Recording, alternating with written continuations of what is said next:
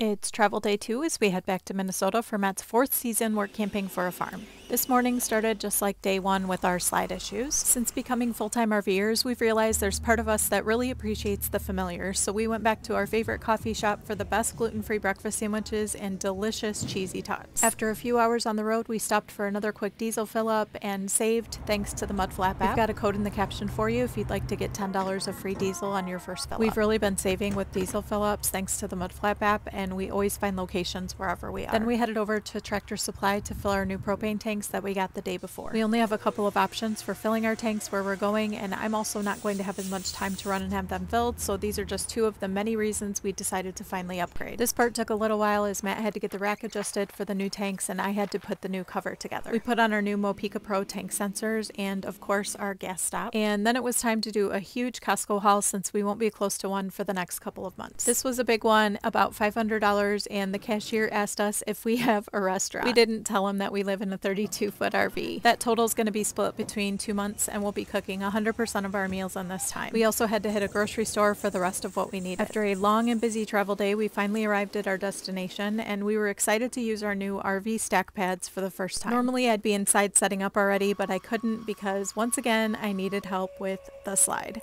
We're going to have to get that figured out. Follow Why Not Wander for all things work camping and RV life.